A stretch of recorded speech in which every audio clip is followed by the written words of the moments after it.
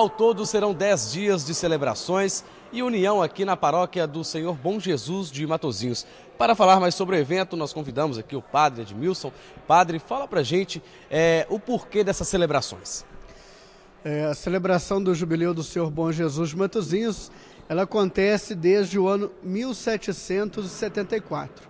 A princípio, essa festa acontecia junto com a festa do Divino Espírito Santo ela seria celebrada no domingo de Pentecostes, o Espírito Santo, na segunda-feira seria dedicado ao Bom Jesus e na terça-feira a Nossa Senhora da Lapa. E com a criação como paróquia no ano de 1960, passou-se então a festa do Divino Espírito Santo no mês de maio e o jubileu do Divino do Bom Jesus de Matozinhos, 14 de setembro.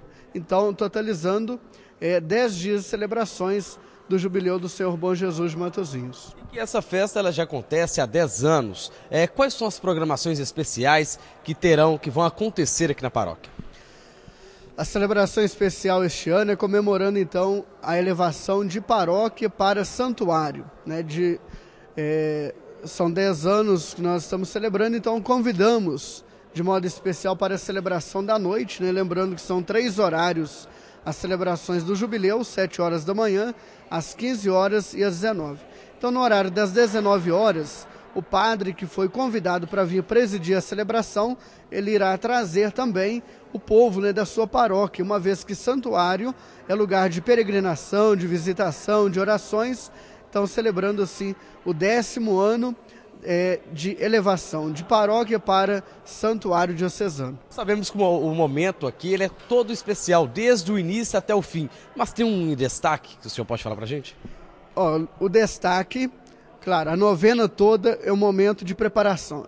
Pessoas que vêm de fora, uma vez que aqui é santuário, mas o dia mais importante, o dia do destaque, é 14 de setembro, o dia do Bom Jesus de Matozinhos, né? Então começa desde amanhã, a primeira missa às 7 horas da manhã, depois às 9 e meia é a missa que reúne todas as escolas aqui do bairro, são mais de 10 escolas, então a igreja fica lotada de alunos, né? Crianças, adolescentes, adultos, e às 15 horas a missa solene, presidida pelo bispo Dom Célio, com diversos padres, e à noite é, a solene procissão, que aproximadamente 15 a 20 mil pessoas. Vamos mostrar as imagens para a gente, Aridelson, por favor. E isso aqui é o que o pessoal já está fazendo, já estão se preparando, limpando, organizando tudo para amanhã, né? Com certeza, hoje já tivemos aqui aproximadamente umas 50 pessoas, já fizeram aí uma grande faxina, é, as pessoas estão aí trocando também as lâmpadas, né, que foram queimadas ao, é, ao decorrer do ano. E ali está então o nosso é, altar que foi preparado este ano, né? Tirou aquele globo do pé do Bom Jesus, foi feito lá atrás um papel de parede, o trono de Nossa Senhora da Lapa e do Divino Espírito Santo, resgatando um pouco daquilo que era a antiga igreja do Bom Jesus. Ok, Padre Edmilson, muito obrigado por sua participação aqui no Jornal Regional.